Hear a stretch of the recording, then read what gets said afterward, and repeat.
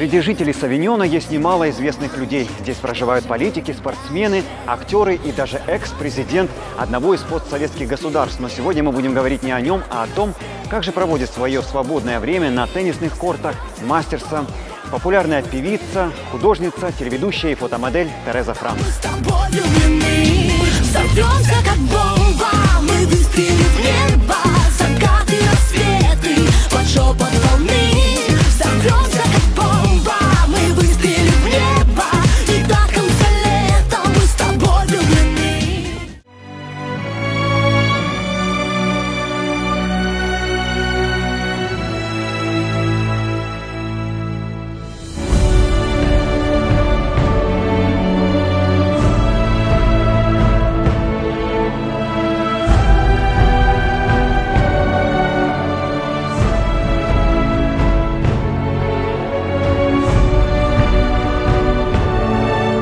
считаю, что каждый уважающий себя человек должен заниматься спортом.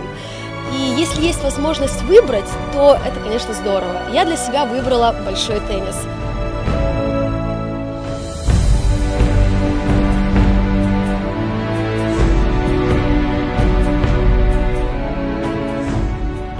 Изначально, когда я пришла на тренировки, я подумала, да, это все просто, берешь там мячик, отбиваешь, там главное э, так ударить, чтобы соперник не мог отбить.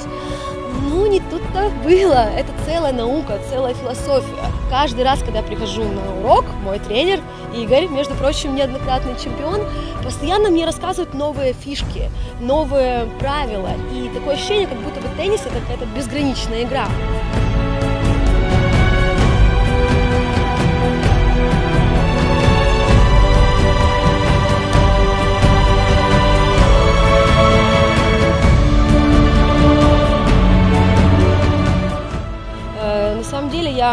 Если есть возможность, всем посоветую поиграть, потому что для меня, для артистки, очень хорошо стимулируется дыхание, что пом- помогает мне на площадках э, спокойно исполнять песню, при этом двигаться. Работают все группы мышц. И э, при подаче, когда ты отбиваешь, ты делаешь выдох.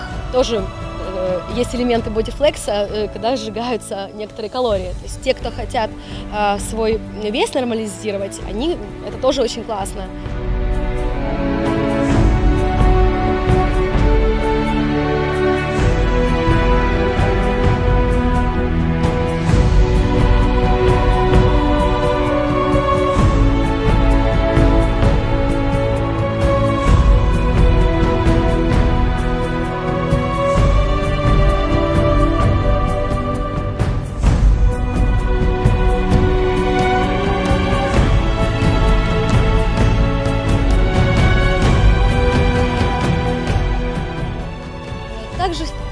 Я не могу сказать, что это мое хобби, или я прихожу просто приятно провести время, что тоже имеет свое место.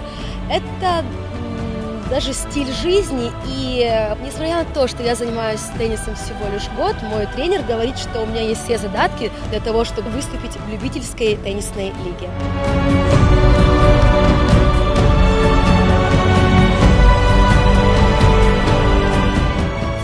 Что я живу и в Киеве, и в Одессе, и видела достаточно много кортов, корт Мастерс для меня самый лучший. Не потому, что я сейчас пытаюсь порекламировать, потому что я здесь живу в Савиньоне, нет.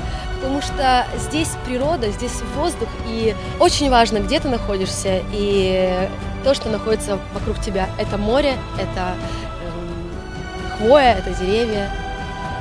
Чистый воздух, одним словом.